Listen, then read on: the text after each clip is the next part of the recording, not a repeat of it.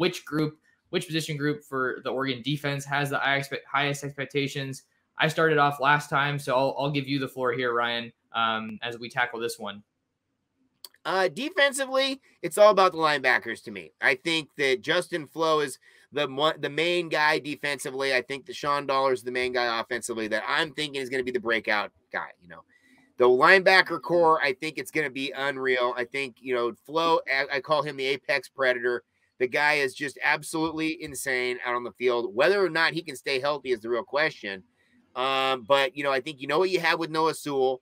I think you're going to be having some great expectations for Jeff Bassa. Uh, I talked with him at the basketball game, was like, dude, you could be MVP next year. And he's like, you better believe it. so he's got all the confidence in the world, super athletic.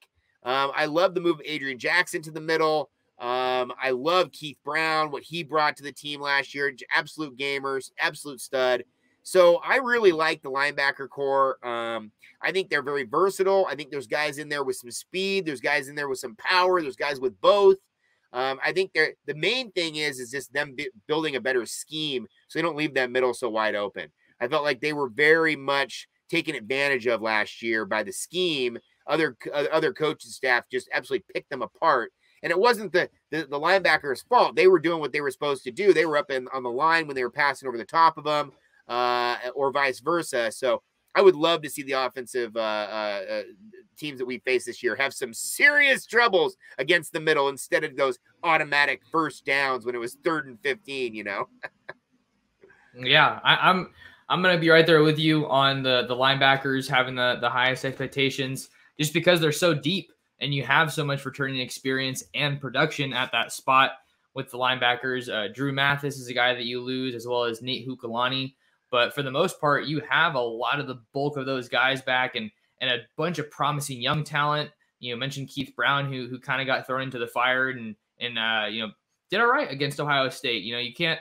It's you know, it's harder to draw. It's difficult to draw up a harder team to debut against than Alabama. You can probably, or sorry, then Ohio State. Alabama would be another one of those you could probably count on one hand that it would be you know really tough to debut against. But Jackson LaDuke, another guy that got some uh, some time towards the end of last year after coming back from injury. Thought it really speaks to you know his development and where he's at with his football IQ that, that he was able to come in and get some really decent snaps. And I thought that the production was pretty solid as well there. But with with Bassa, I think he has a tremendous amount of intrigue. Lanning was asked why he thought Bassa had a better fit at linebacker, and he said he he combines the the speed of a defensive back with the the physicality or the speed or athleticism of a defensive back with the physicality of a linebacker.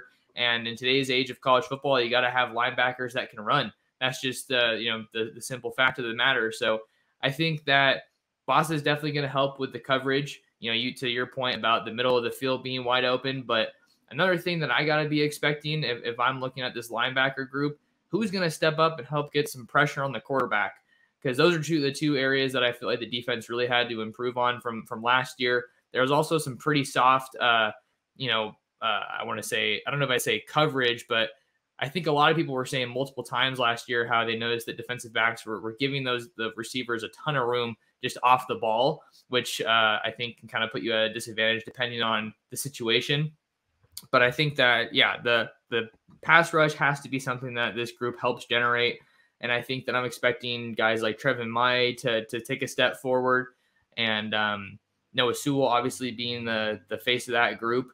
And then with Harrison Taggart, how does he factor into all of this? Uh, there's just so much talent in that group that I think the bar is is, is uh, set really high and then look for for guys like Jake Long, uh, new coach coming over from from Alabama, and, and Tosh Lupoi to to really help get that group to the next level, and then Dan Lanning as well. And I feel like that kind of just feeds into to reasons why the expectations are so high when when you have guys that have worked with that position in the past and, and played at a really high level. I know that Tosh most recently worked with the defensive line, but um, you know, in addition to his assistant DC, uh, co DC role, um, with him and Powledge being co-DCs, he's, it looks like he's going to be working with the linebackers. So plenty of reason for optimism with, with the backers, but also some some definite room for growth from a year ago. Oh, absolutely. And I think it's interesting how they listed uh, the players this year. Uh, they only listed two defensive ends. They listed Dorlus and Bradyn Swinson. Uh, and I think Swinson is going to have a hell of a year. I think I was very impressed with him last year, uh, but I was very impressed with Dorlus as well. And uh, they they're both listed as defensive ends right now, which I think is fantastic. Uh, the other guy, of course, I love, you know, is is Mase. You know, Mase Funa coming off the edge. You know, guy who plays at that same type of warrior mentality speed that Noah Sewell and Justin Flowe they play at. They're going to get hurt. They're going to go through it. And and he's a guy who plays hurt. He's a guy who's had just a tremendous career so far.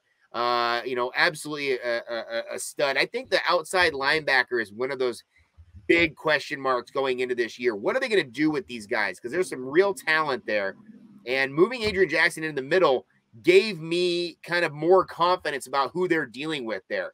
Uh, whether it's guys, uh, you know, who, uh, you know, like uh, uh, uh Terrell Tilmon or uh, Jabril Neal, guys who maybe not have seen that much, but guys who maybe are just ready to go off because this defense, I think, is all about speed. So when I look at them, like, who are the guys that are going to bring the most to the table with the speed? Might not be the same physicality that we saw in years past uh, with Cristobal. Might be more about speed, and there might be a lot more guys in the future that look more like Kayvon Thibodeaux on this defense than in the past. There's yeah, there's a lot of guys that we didn't really see too much of last year, but they are kind of those those tweeners a little bit, right? right. Uh, you mentioned Terrell Tilmon uh, being a guy who kind of came in with with a lighter frame. And then uh, you know, Josh here in the in the comments is asking, you know, what do we know about Buckner? He's a guy that I think is primed to take a, a big step as well. Mikey G talking about DJ Johnson as well. He's someone that we we cannot big forget time. about. He's big probably time. the guy on the front seven I'd say that I'm most excited about, yes. uh, just because it, it looks like he is primed to to serve solely in a defensive role. Uh, he's obviously shown that he can bounce back and forth between uh, defensive end and, and tight end, but I think that for this staff to really get the most out of him, it really serves him best and the team best if, if that happens on on uh, defense. Recently got engaged as well. Shout out to DJ Johnson. Congratulations to him on that. Um, and he, Mikey G saying here that he that DJ Johnson doesn't get the attention that Tibbs got. Maybe he gets to the quarterback more. And I think that that'll really come with just having a more balanced defensive line. Is you know the a lot of these opponents that the Ducks had last year were able to zero in on, on KT or, or Dorlus. Right. But if that whole group takes a step forward, then it's going to become that much more difficult for the offensive lines and the, the offensive staffs of these opponents to, to zero in on somebody. Because I think that as great as KT was, I didn't think he was as consistent as he probably wish he could have been last year. And that group as a whole just needs to to elevate um, because then that then when you have that, you're getting more consistent pressure, which is going to be so crucial to to forcing turnovers. But Buckner's a guy that that you definitely have to talk about when you're looking at the the front seven discussion, and uh, someone who's you know in a good position to to take a step forward. And I think since he is a little undersized for a guy coming off the edge, um, you know, I'm not using that to slight him because I think he's really someone who's used his his technique and his his experience training, you know, with, with his dad being an NFL coach um, to his advantage. And I think that that's something that maybe now he's better positioned to to use that to his advantage and, and take that step forward. Yeah, I, I totally agree. And and and you know, no slight to DJ. I I, I think he is going to be the man. I think he has the ability every year he's been at Oregon to be one of the better players on the team. I mean, when he came over here wearing number seven, guy was an outside linebacker, great off the edge, held, contained, did a great job coming from Miami. Switched to the offensive side, and I thought he was the offensive MVP during the COVID year. I oh, mean, oh yeah, I think I think 100%. I mean, he's just amazing.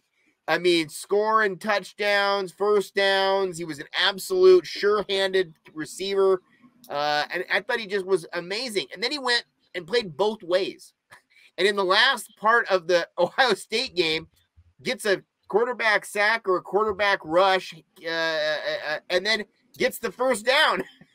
in like the last two minutes, he has two huge plays on both sides of the ball. I mean, who's doing this in D1 football in 2022?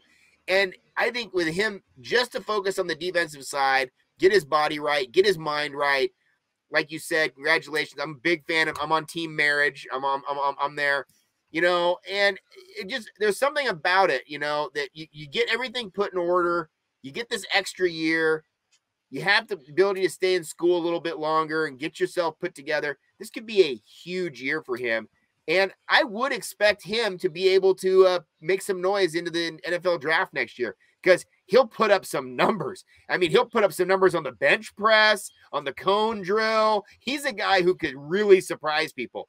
I, I want to say that he was one of these guys who had the most offers of almost anybody in the country as his senior year. I think he had over 100 offers.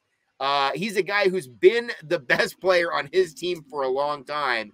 And I would love to see him go absolutely crazy this year and get maybe a couple three sacks right out of the gate, first couple games to set the tone.